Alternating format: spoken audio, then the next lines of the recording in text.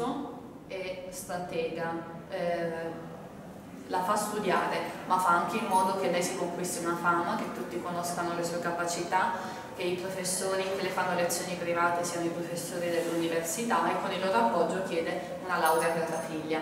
Solo che la chiede in teologia la prima volta e quella domanda è rifiutata. Il vescovo dice di no.